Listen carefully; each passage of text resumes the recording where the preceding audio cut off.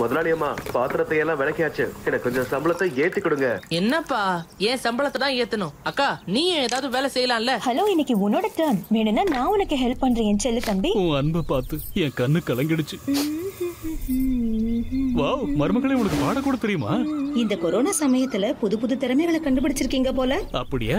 இந்த திறமை கூட இல்லனா என்னோட காலேஜ் லதா மங்கேஷ்கரை எப்படி மயக்க இருக்க முடியும் நிஜமாவாமா மேகத்தீயணைக்க வா கையோடு கை எந்த பிரச்சனையா இருந்தாலும் சரி குடும்பம் ஒண்ணு கூடி இருந்தா எதை பத்தியும் கவலைப்பட தேவையில்லை. ஹாப்பி ஃபேமிலி டே